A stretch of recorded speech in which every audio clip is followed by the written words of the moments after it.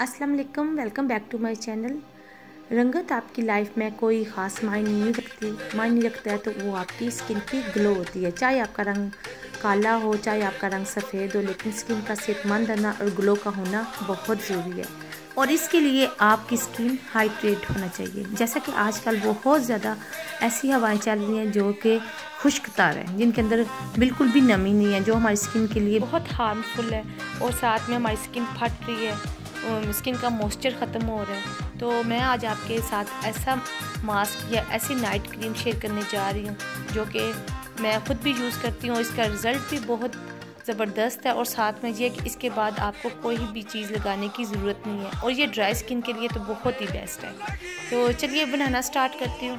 मैंने कुछ बादाम ले लिए थे, आप भी पंद्रह सोलह बादाम ले लें। अगर ज़्यादा हो जा, ज़्यादा भी हैं तो आप ग्राइंड करके रख लें। तो एक चम्मच मैंने लिए है एलमंड पाउडर तो उसके बाद मैंने इसमें डाला है दो चम्मच दही। आप चाहें तो आप दही की जगह मिल्क भी यूज़ कर सकते हैं, ठीक है? और एक चम्मच मैंने हनी का डाला है। इसमें जितने भी इंग्रेडिएंट्स डाले हैं वो सब आपके किचन में ही मौजूद होते हैं।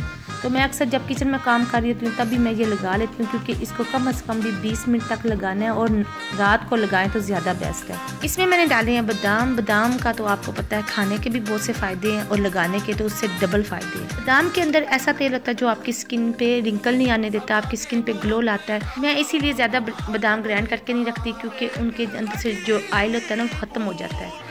तो आप भी बस मुट्ठी बार जो बादाम होते हैं वो ग्राइंड कर लें। एक वीक के लिए बहुत है। और मैंने लिया है दही, जो कि आपकी स्किन के लिए बहुत बेस्ट है। इसमें लैक्टिक एसिड होता है, जो आपकी स्किन को वाइट भी करता है और दाग धब्बे दूर करता है। इसके बाद मैंने लिया इसमें हनी हनी आपको पता है एंटीसेप्टिक है स्किन की जितनी भी प्रॉब्लम्स होती है सॉल्व करता है और दाग धब्बे भी दूर करता है। तो इस मास्क को आपने 20 मिनट लगाना है। 20 मिनट के बाद दो से तीन मिनट मल के तो फिर उतार ले। ठंडे पानी से अपना फेस वॉश कर ले। अगर आपकी स्किन ड्राई है तो एलोवेरा जेल लगा ले। मिलते हैं न्यू वीडियो में। अल्लाह हाफिज़।